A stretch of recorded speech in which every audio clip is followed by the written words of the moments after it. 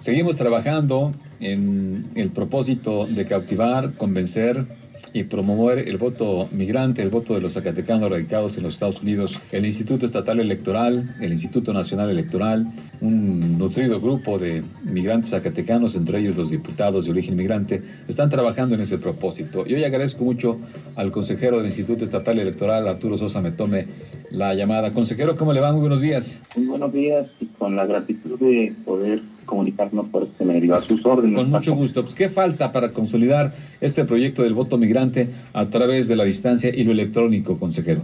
Mire, este proyecto que inició aquí en Zacatecas por el 2003 con la primera ley migrante que permitió que los migrantes con justicia integraran el Congreso del Estado a través de dos representantes que se otorgan al primero y segundo lugar en las votaciones respectivas tiene en la actualidad la nobleza, el propósito de que puedan acudir al medio electrónico, es decir, por internet, por eh, su celular, a, poder ejercer su sufragio.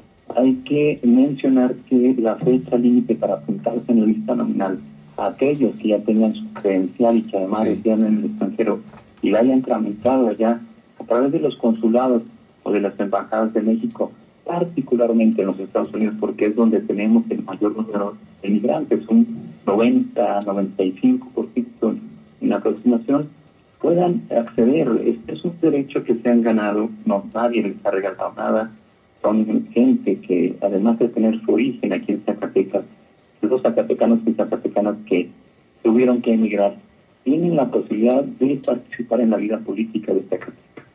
Esto podrá hacerse a través efectivamente de Internet les ponemos a su disposición el sitio web eh, que es www.votoextranjero.mx, pero además, para orientarlos, un sitio que tenemos, un correo electrónico votozacatecano.com. Es muy sencillo, pero los podemos, por supuesto, orientar. En la actualidad, eh, a este día tenemos cerca de 1.200 votantes potenciales porque ya se dieron de alta en esta lista nominal que junto con la credencial es requisito indispensable para sea el voto. Háganlo, miren, nosotros eh, vamos a hacer precisamente el envío de los correos electrónicos respectivos durante la primera semana de mayo de este 2021.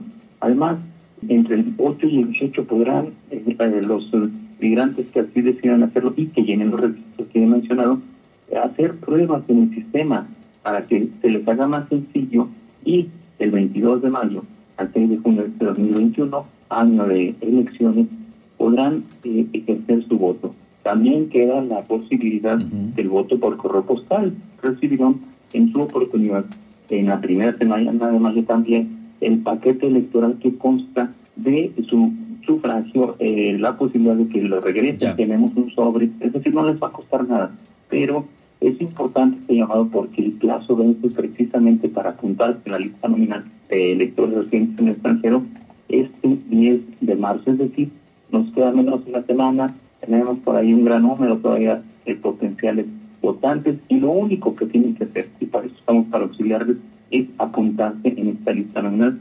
Repito, los que tengan credencial, porque no los que no lo hicieron antes del 12 de febrero, pues ya no, aunque sea su deseo eh, participar ya sea pasivamente, es decir, ejerciendo o recibiendo la votación de los ciudadanos, activamente ejerciendo este voto, que es un derecho y un, un derecho humano que se ha ganado ellos, los migrantes son nuestros paitanos, son nuestros familiares. Muy bien. Finalmente, consejero Sosa, ¿en qué números vamos? ¿Cuántas solicitudes y ya cuántos autorizados? Mire, tenemos cerca de 1.200 a estas alturas. Afortunadamente los números se mueven a la alta de 1.200 posibilidades de que ejerzan este voto. Parece un número discreto, pero es muy importante que no se vean en números eh, cuantitativos, sino que la calidad del voto del migrante debe eh, ser un elemento más para que sepamos quién nos va a gobernar en los siguientes seis años. Yo sí quisiera hacerles esto, porque eran por, por ahí un número importante, cerca de los 6.000 para Zacatecas, que pudieran hacer este trámite, finalizarlo. Si ya empezaron con solicitar su credencial y que reconocemos no es un proceso fácil, es mucho más sencillo apuntarse en la lista nominal y esto es esencial porque con eso cerrarán el ciclo y por supuesto, podrán participar en la vida política de lo que es su tierra. Muy bien. Arturo Sosa, consejero del IES, le agradezco mucho la llamada. No, hombre, muchas gracias. Aprovechar para llamar de veras a los familiares, a las personas que aquí residen en Zacatecas tengan o tengamos parientes, todos en Zacatecas que no un pariente, háganles una llamadita, le mándenles un WhatsApp, un mensaje por correo y por supuesto, ojalá quieran y decidan participar y ejerzan este derecho y deber ciudadano. Gracias, Lee, que esté muy bien. Gracias, don Paco. Hasta luego. Gracias, Arturo Sosa, consejero del Instituto Estatal Electoral.